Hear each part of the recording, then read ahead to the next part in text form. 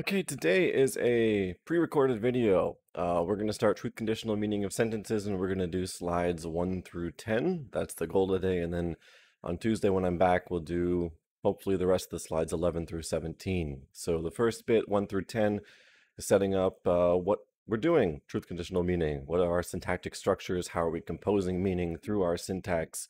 And what are the basics of our semantics?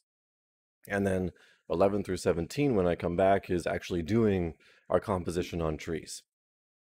So what we're doing at this point in the course is after we've learned all of our preliminaries through uh, set theory, relations, um, propositional logic, is we finally get to take a look at syntactic structures and real simple sentences and actually take a look at the meanings of words, the meanings of phrases, the meanings of sentences, and see how we can compose meaning on an actual syntactic tree.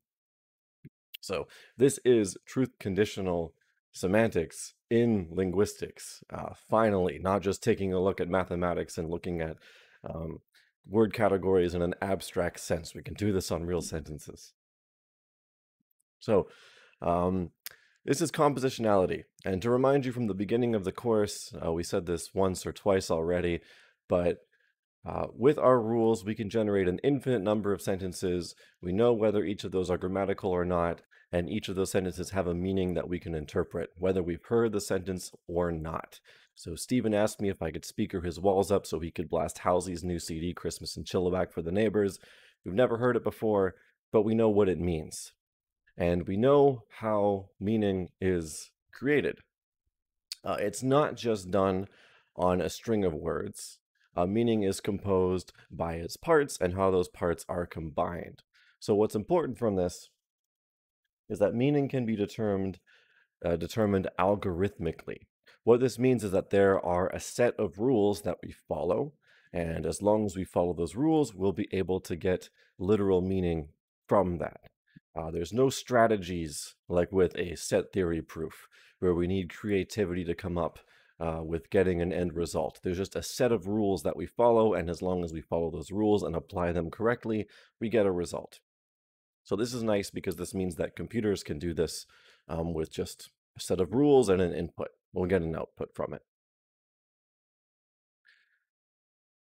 So, if we have a sentence, it is not true that Toby teaches English literature and Kay teaches math. Uh, maybe this wasn't completely clear at the beginning of the course, but now that we have propositional logic, we can actually show this in a different way now. Uh, we know there are two different interpretations. So there's one case, if we give these labels, so this is not, uh, let's call this T for Toby teaches English, this is and, this is K for Kay teaches math. We know there's two ways that these can be put together because this is structurally ambiguous. So this can be not T and K. That can be one interpretation, or this could be not T and K. So when we say that semantics isn't done on a string of words, but rather on a syntactic object, well, this is what we mean. In order to understand what the meaning is, we need to know what the structure of the sentence is. And uh, these can be broken down into structures, of course. So there's uh, not T, um, then this is joined with and, and then that would be joined with k. Or we could do uh, t and k first, and then join the not to that. So I, am omitting uh, some nodes a little bit for brevity, um, but we can see there's some different structures there. And what's also nice about, it, nice about our system is that no matter what language that we work with, the way that we do composition is the same. So I have the sentence he eats fish in three different languages. Uh, these all have different word orders.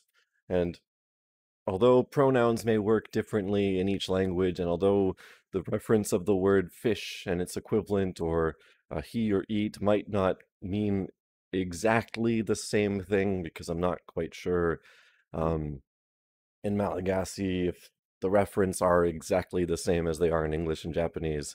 Um, it's really besides the point. But if we take a look at, say, the verb phrase, for instance, uh, no matter what language you work in, the meaning of the verb phrase is going to be determined by the meaning of the verb and the object. It doesn't matter what the order of the verb and the object are. It doesn't matter where the verb and the object are in the sentence, the composition strategy, the algorithm is the same. So no matter what language we work with, uh, we can still use the same principles. It's much like in syntax. Uh, if we talk about what complements are, the meaning of the complement is the same no matter what language you look at, but the position is different. Uh, adjuncts mean the same thing in every language, uh, and they can occur in whatever position, but they can be removed. That's what an adjunct means, but every language uses them differently or places them differently. Um, specifier is the same thing. The position of the specifier varies from language to language, but it has the same meaning across every language. So let's get into terms. And I've tried to um, specify some of these as we went through our preliminary, so that way uh, we could tie some of these into linguistics as we learn them. But as a refresher, and to really specify these again in the context where we need them, uh, linguistic meaning is associated between a linguistic expression and an object in the model or world. So uh, basically, we can define things in the real world or in some situation, and that gives it meaning. So uh, the object in which the expression is associated is its denotation. Um, so uh, you can talk about denotations here, and maybe this will explain what denotations are a little bit better. So proper names are individuals in the world. So um, individuals denote people obviously. So how do we represent people in mathematics? Well, we did these with elements. So from set theory, we can represent proper names with elements. So that's why we did some set theory at the beginning. Uh, verbs use relations, and relations come from set theory as well. I mean, we can also just say that these are sets, um, but specifically we say relations because we're looking usually at um, pairs for transitive verbs, triplets for ditransitive verbs. Uh, intransitive verbs look for uh, a bunch of singletons. But uh, these are still sets in the end. Sentences uh, denote truth values. So sentences are either true or false. But they have some condition associated with them. So uh, if a sentence is true, uh, there's some condition that makes it true. So as we build up our tree, uh, each word gets a category, and that category gets some meaning associated with it. It gets a denotation. So a proper name would have an element associated with it. A verb would have a relation or set associated with it. Um, so a verb phrase is going to have some relation meaning associated with it. But if we think about a verb phrase and a transitive verb and some noun, well, specifically, let's say it's a proper name. Well, we would have an element and we'd have a set, but this verb phrase is going to be a set too. So we're going to have to figure out some way to get a meaning in the verb phrase that's a set that combines a set and an element together to get the meaning of a set. And similarly, when we build up uh, to the sentence level and we get another element and a set, well, a sentence has to be a truth value. So uh, we're combining all these different bits of mathematics together in order to build up the truth conditions of a sentence. So uh, these are all about denotations here. So proper names denote elements, verbs denote relations or sets, and sentences denote truth values. Um, and a lot of the other categories fit in with verbs, so things like nouns, uh, adjectives, prepositions, and so on. Okay. So for sentences, if we want to know whether a sentence is true or false, we have to have some situation. So uh, we need to know some facts about the world. And the facts about the world uh, relate to the truth conditions. So if we say uh, Jesse likes Mr. Clean, uh, we need to know some truth conditions. So we would have to say if Jesse likes Mr. Clean is true, then we need some world where um, Jesse is in a set of people uh, who like Mr. Clean.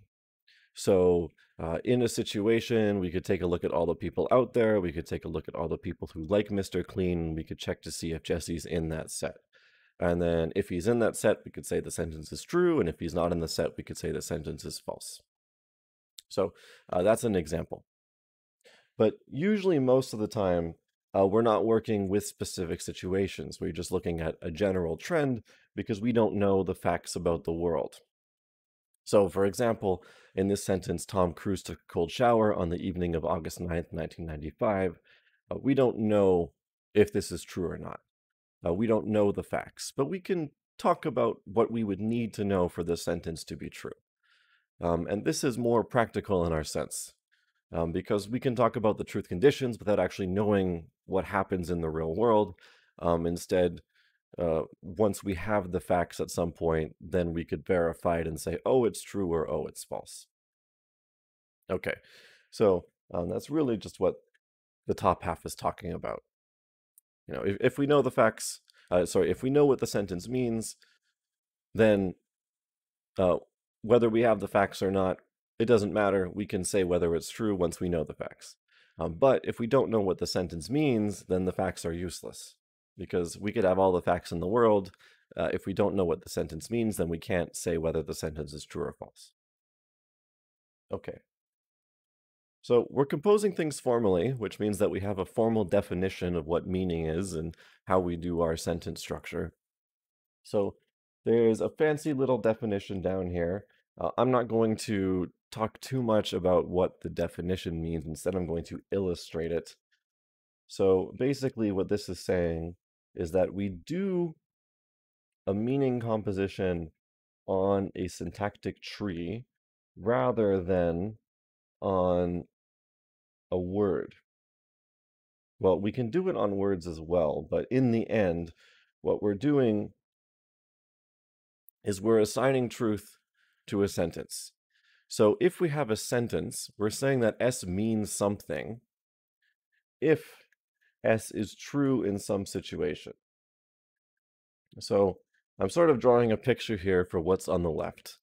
So what this says is that this sentence, this structure, is true in some situation. So this is a situation. This says it's true. Uh, this P is just the conditions.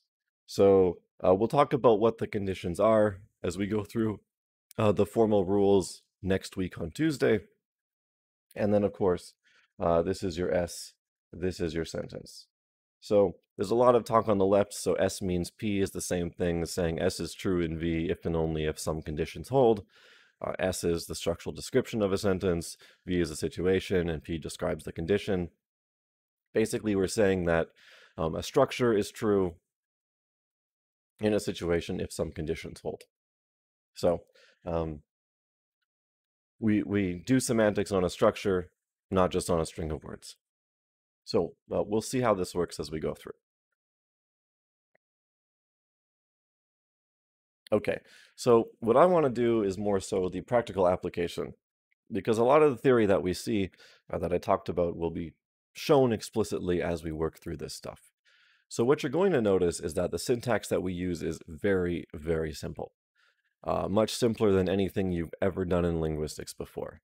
Uh, and that's because we're only using what we can use.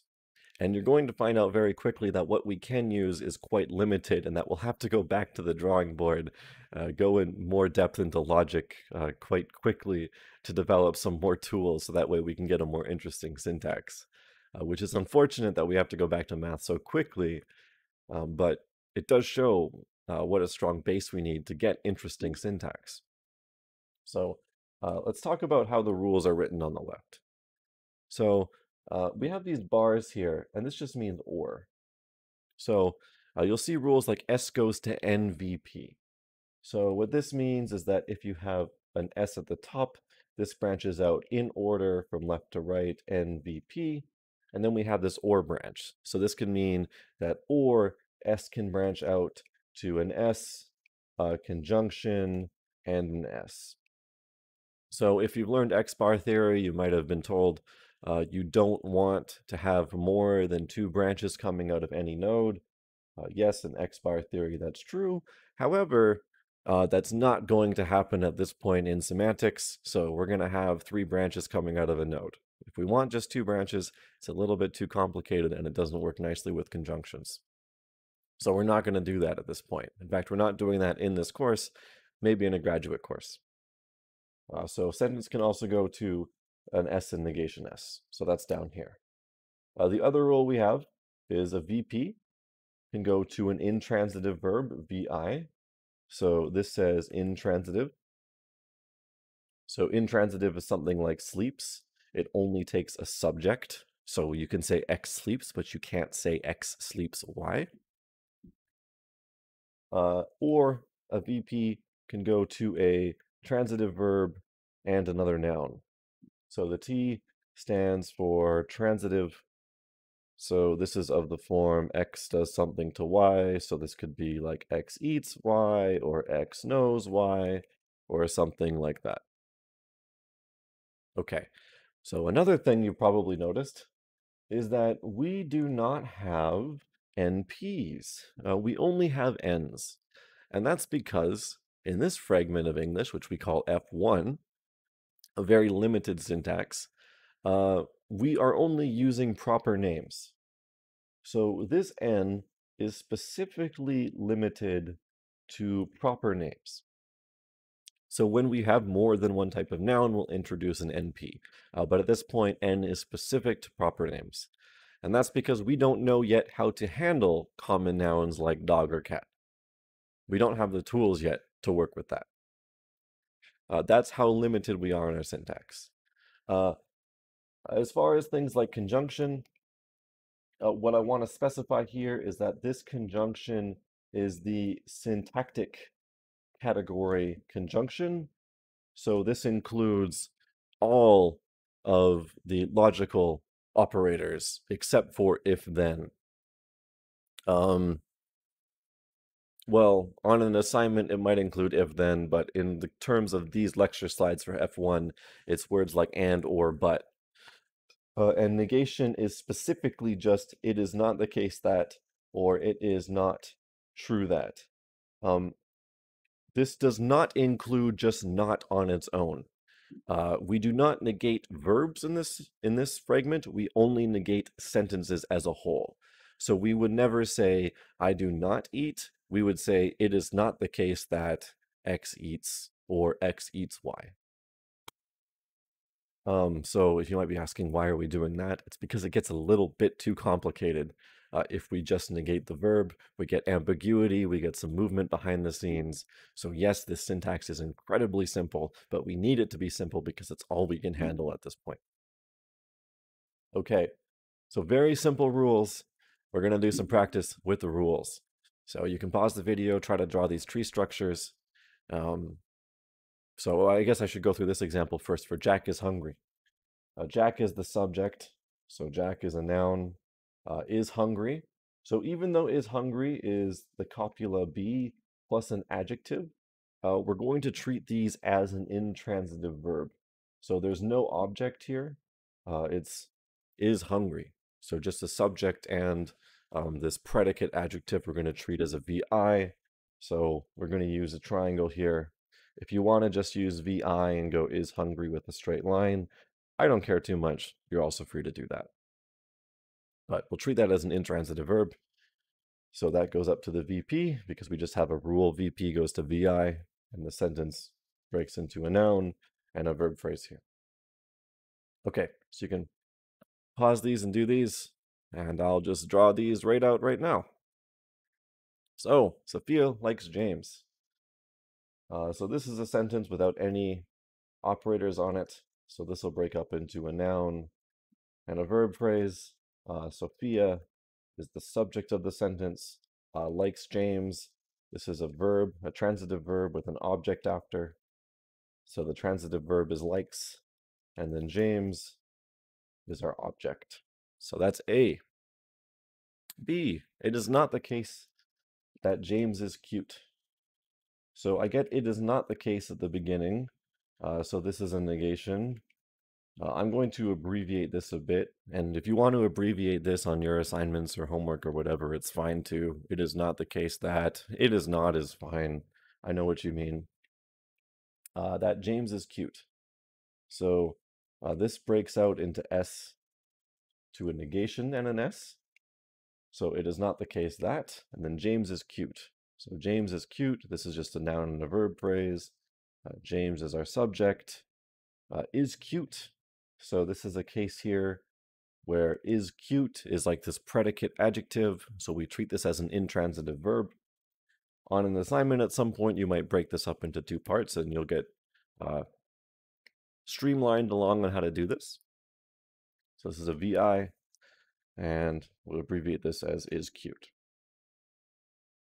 Okay, so that's B. It is not the case that, just for completion, I'll write that in. Uh, James is cute. Okay, C. C is a little bit more complex. Jack is hungry, and it is not the case that James likes Jack. So we have a little bit more to work with. Uh, we have a compound sentence with and in the middle. So we're going to have to use our conjunction rule. So and will be in the middle. On the left, we have Jack is hungry. So this is a case of an NVP with an intransitive verb. So is hungry, and the subject here is Jack. So Jack is hungry is our left sentence or a left clause. And it is not the case that James likes Jack is on the right. So that S on the right is going to go to a negation. And uh, we'll do it is not that. And what are we left with? It is not the case that James likes Jack. So we have a subject, James, then we have a verb phrase, and we have likes Jack. So uh, we have a transitive verb likes, and then we have another noun, which is the object here, Jack. So it is not the case that James likes Jack. Okay, that's C. Uh, now for D, we have a ambiguous sentence with two trees. It is not the case that Jack is hungry or Sophia is boring. So what I might do is just remind myself what the two structures are. So it could be not uh, J or S, where J or S is being negated, or it could be not J or S, where just J is being negated. So two structures there. I'm going to clear both of these trees so I have room. So I'm going to do the top one first. So first I'm going to do an S and break it off into a negation and an S. Um, just for the sake of space here, I'm not going to write the words out. I'm just going to do the structure because we know what the words are. So negation is it is not the case that. Uh, now we're going to do Jack is hungry or Sophia is boring.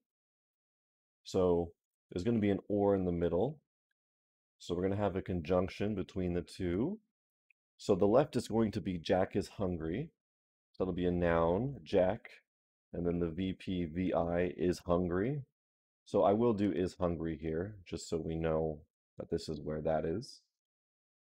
Uh, conjunction will be or. Then the right side is Sophia is boring.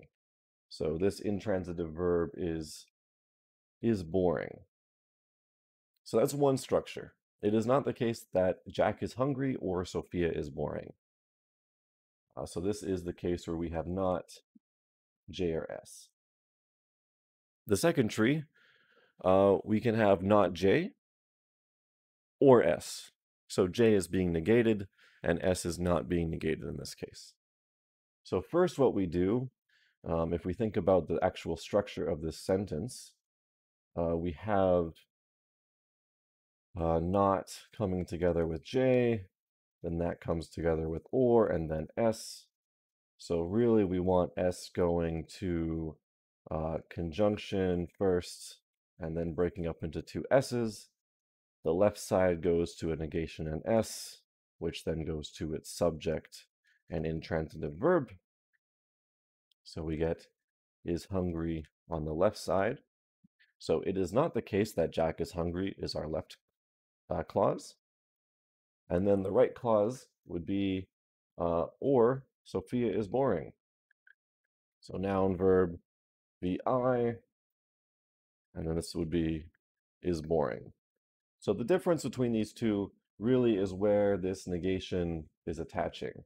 Uh, is the negation just negating uh, one of the clauses as on the right side, or is it negating both of the clauses as on the left side? Okay.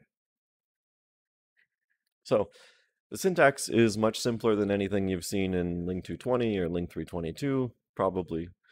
Um, but still, uh, it is an adjustment. Uh, when you go from doing more difficult stuff to easier stuff, uh, it's still easy to make a mistake because it's easy to overcomplicate things in your head.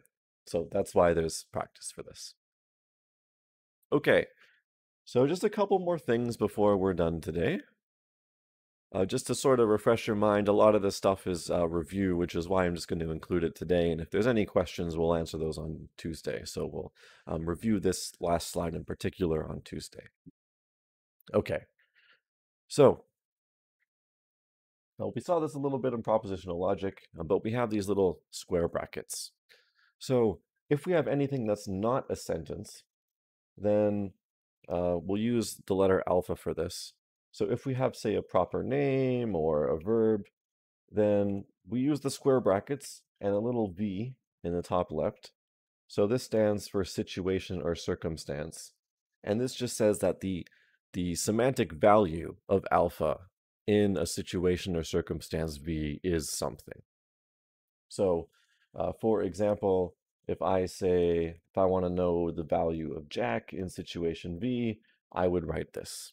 And uh, this could stand for some person, but usually with proper names, we would pick a letter J and give it a little prime symbol. And we'll see how this is done on that 10th slide. Uh, if it's a sentence, uh, it's a truth value. So uh, we would do the same thing as we did with logic. Uh, we would give it a 1 or a 0, and then S would be true if it's 1, and S would be 0 if it's false. The difference is we're putting a little v on top, and this is our situation or circumstance. So uh, now we're always analyzing things relative to some situation or circumstance because when we analyze whether people like people or people are tired, uh, we're looking at some universe full of people. So that way we can say whether it's true or false in some situation.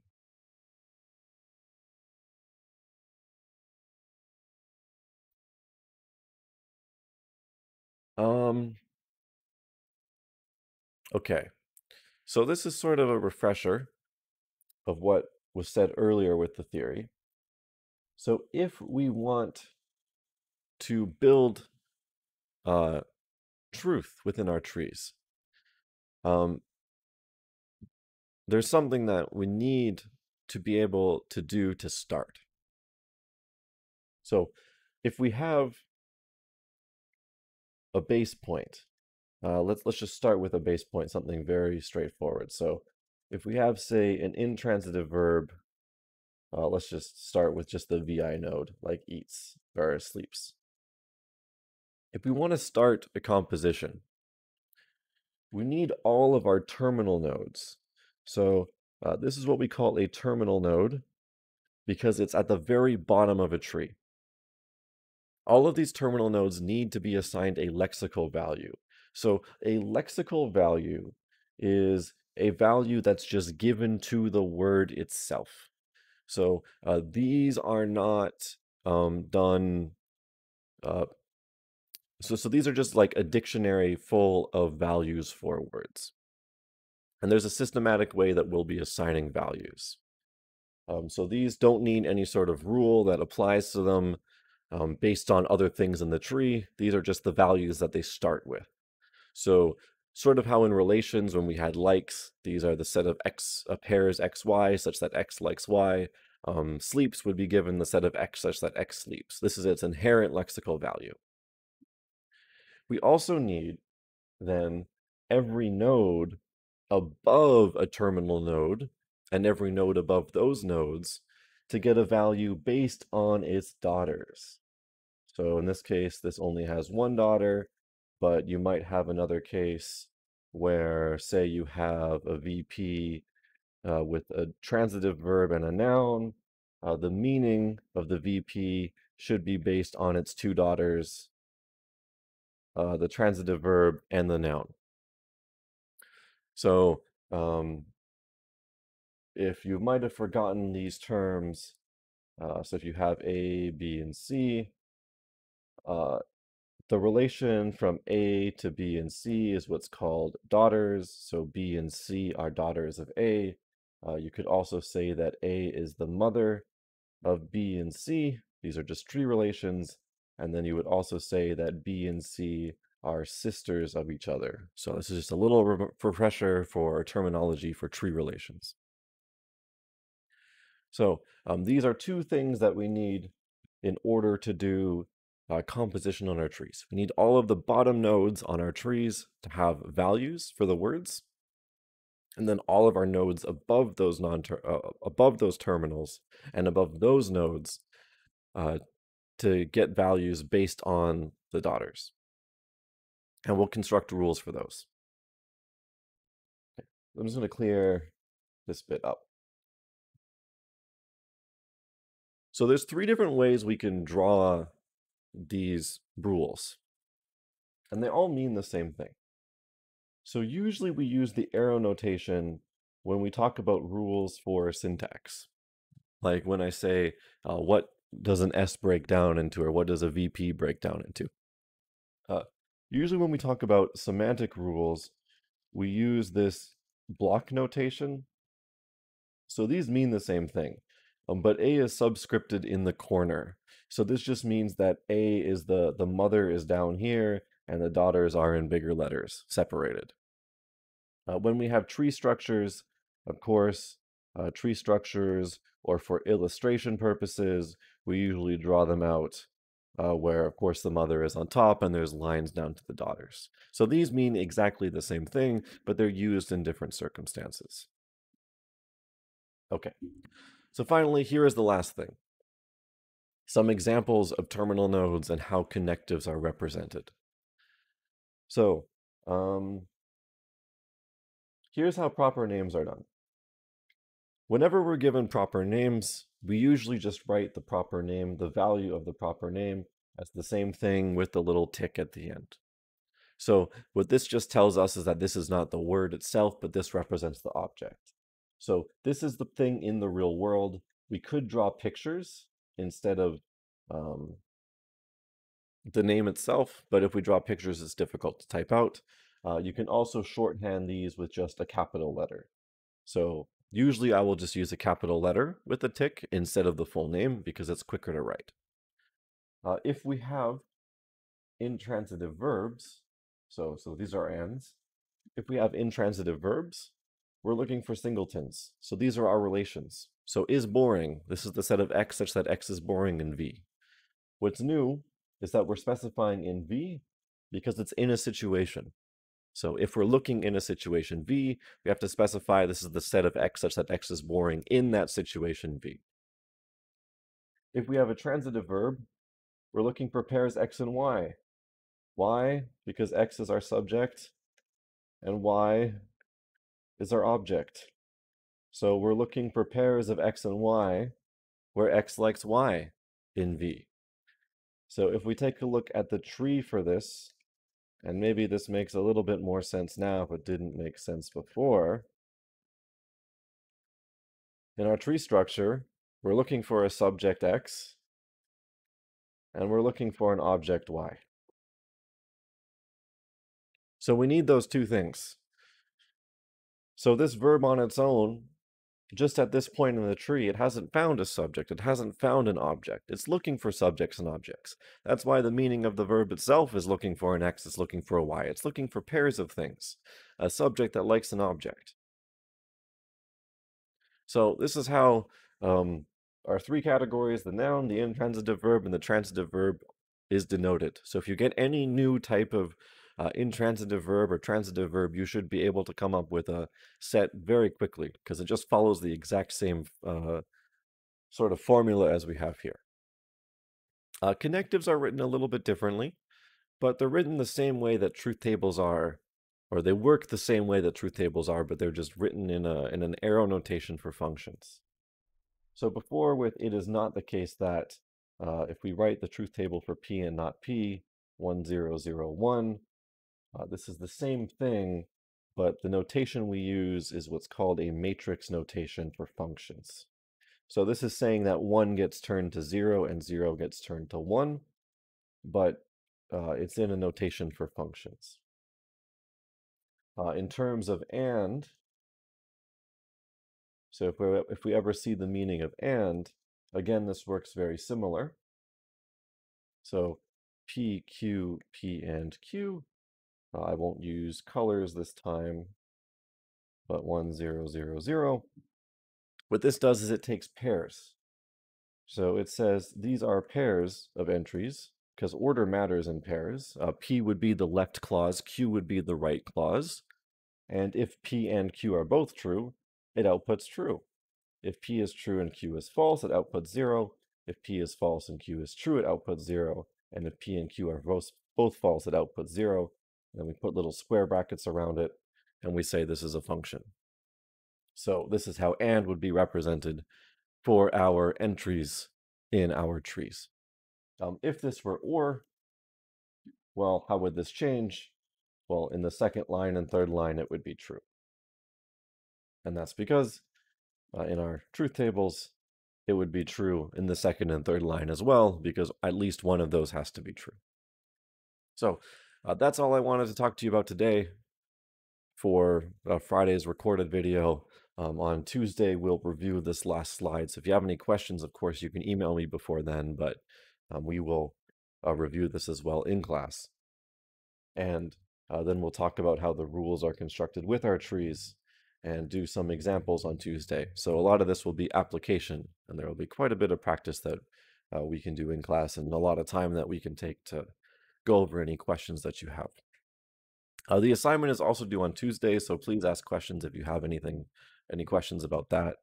Um, if there are a lot of questions, yeah, just uh, let me know. So I'm still available uh, on Thursday and Friday for email, and I'll also be available on Monday for appointments. So yeah, um, there are any questions, please let me know. I just repeated that seven times, but I have no idea how to end this pre-recorded video because it's been so long since I've done it. So enjoy your weekend.